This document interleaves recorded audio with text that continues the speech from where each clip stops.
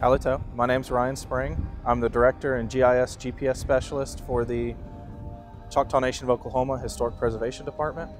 And uh, I'm going to be talking with you guys a little bit about these uh, Choctaw winter huts, or the chukkas.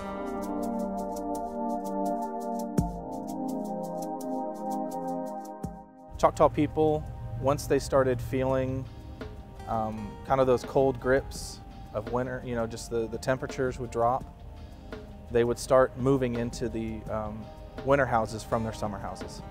Winter houses were, unlike the summer houses, the winter houses were made to keep people warm. I mean, they were made um, with a family setting in mind. As you can see from the chukka behind me, um, the way it worked is you had vertical posts that would form the wall, and then you'd have a clay and grass daub that would kind of work in between the posts and that would create your insulation. And then on the roof, you could use grasses or palmetto, river cane, all sorts of different thatching on top to kind of hold it together. Usually the houses were dropped about three feet into the ground and they would have a circular entrance. So you'd have to hunch down and kind of walk in a spiral pattern around to the front door. And then you'd have to hunch down even more and drop down into the house. And that was a technique used for protection. That way, you know, if you were attacked, only one person could get into the house at one time. But also it just kept the wind out. Um, they didn't really have, you know, we didn't use doors or anything. So by creating that, that long entranceway, it helped insulate the house. So once you got in, you know, to your home, there would be these um, river cane uh, couches slash beds built all along the sides. And that's where family members would sit, that's where family members would sleep. Underneath, they would store a lot of their items. Hanging above, they would have all of their different foods. Stalks of corn maybe laying there. You could have maybe your squash drying, hanging from um, the racks. And then in the center of the house would have been your fire. Now, depending on different areas of Choctaw country, some houses had a small opening in the roof for the smoke to get out, and then some houses didn't the smoke they kept in the top of it, which helped to possibly preserve food, um, but also to keep it insulated.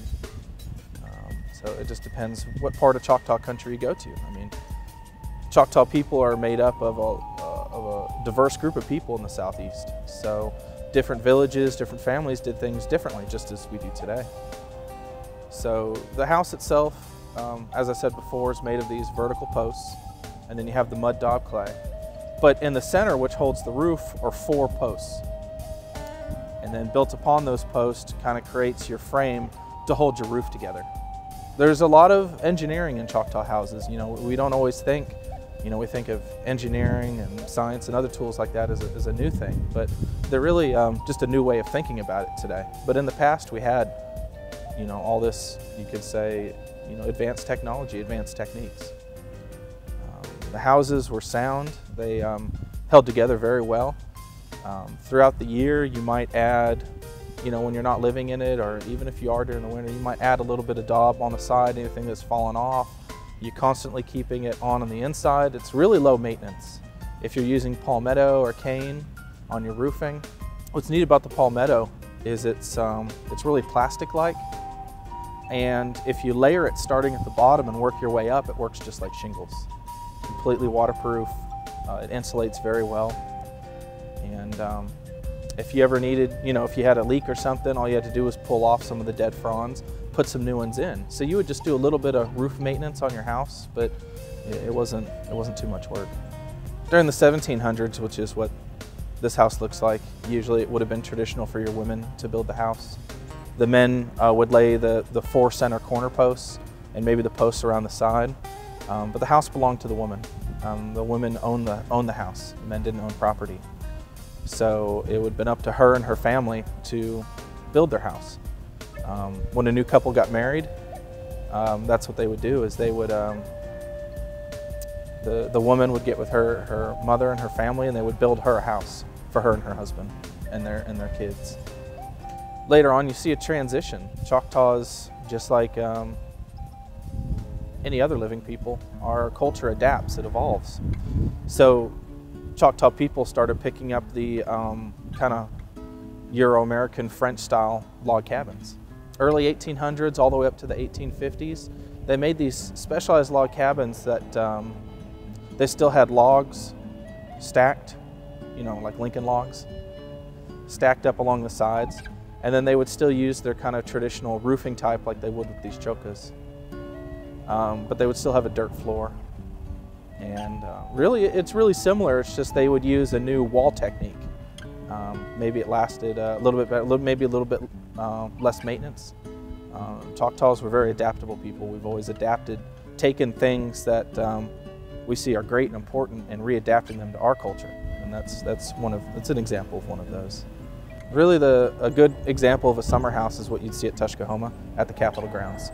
There's a summer house there in the, in the traditional village. Um, there's also examples, more examples of these winter houses too. So depending on the needs of the family, depending on the time of year, they would transition between these two houses.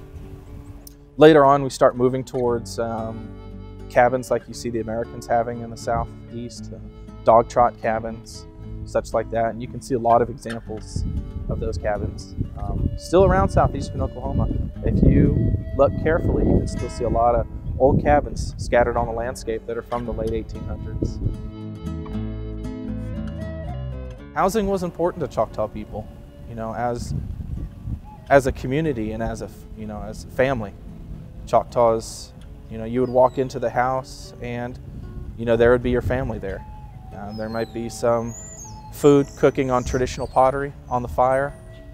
Um, you might have a visitor. You might have maybe some relatives there. But um, you're always going to hear a lot of laughing, which is laughing and food.